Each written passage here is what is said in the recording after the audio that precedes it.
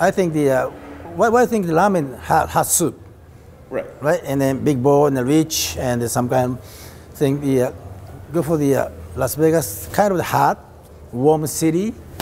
So outside, standing alone, you know, in the, in the building, that's uh, air condition is fine, but uh, that's my try here. You know how how people living here likes the uh, my you know concept.